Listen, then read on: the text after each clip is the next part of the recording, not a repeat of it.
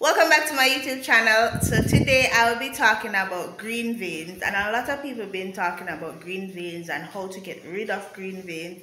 And i want to address this quick as possible because some people getting this thing wrong and all wrong and i've been hearing this so many times.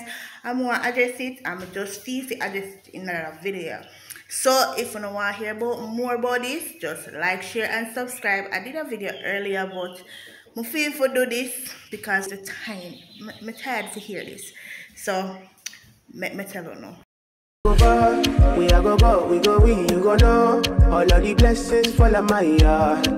Blessings stay for my yard.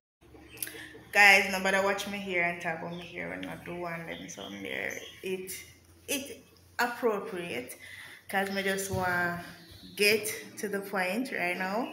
So, first of all, if you're a dark person and then you lighten your skin with skin lightening product and then you start to see green veins, like I think green veins.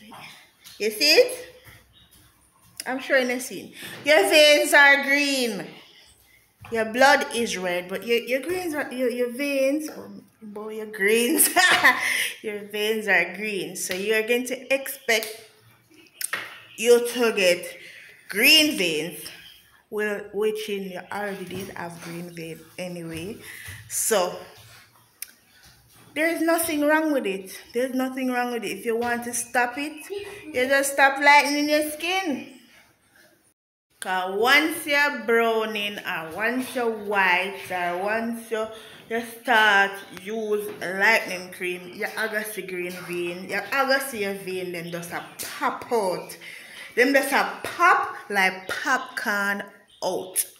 So you can't there's nothing nothing new about that and there's no, no product that can get rid of that. So please don't even ask about how can i get rid of green, green veins listen there's no way you're going to get rid of that green vein because you have green vein naturally guys. Naturally